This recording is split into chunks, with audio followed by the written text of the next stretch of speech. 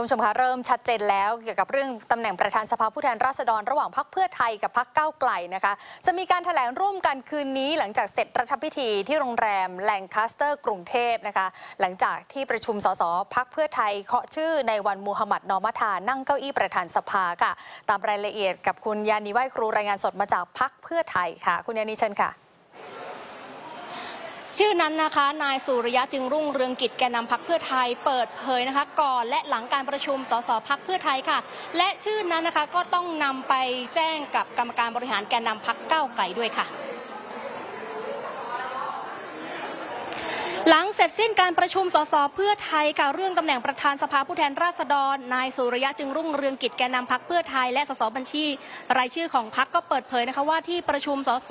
เสนอคนกลางค่ะนั่งตำแหน่งประธานสภาผู้แทนราษฎร ซึ่งนั่นก็คือนายวันมัวหมัดนอมัทา หัวหน้าพักประชาชาติค่ะ แล้วก็ได้มีการประสานทาบทามกับนายวันนอไว้แล้ว โดยหลังที่จากคณะกรรมการบริหารพักเพื่อไทยมีมติเสนอชื่อนายวันนอนะคะแกนนำพักเพื่อไทย ทั้งนายสุริยะจึงรุ่งเรืองกิจนายภูมิธรรมเวชยชัย นางสาวแพทองทานชินวัตรก็เดินข้ามตึกไปยังตึกไทยสมิตค่ะ เพื่อไปแจ้งผลการประชุมและเจรจากับแกนนำพักก้าวไกล ล่าสุดพักเพื่อไทยก็แจ้งกำหนดการ